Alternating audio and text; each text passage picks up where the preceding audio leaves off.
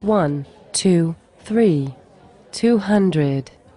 Oh my god, faggot, what are you doing? Just some crunches. These are the best if you were trying to lose weight and look better than what you do now.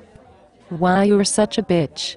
How about you get a life and stop trying to find ways to make you others feel bad? Did that simple comment really make you feel bad? How often do people look away from your disgusting fat ass, just so you won't get the urge to walk over and talk with them? Why you are so rude. At least I am honest. Maybe if people would speak their minds more often, maybe it would motivate others to take responsibility for their lives. Wow, thoughts so true. Your very hurtful comments really did motivate me to take care of myself. Ha ha ha, you're welcome, bitch.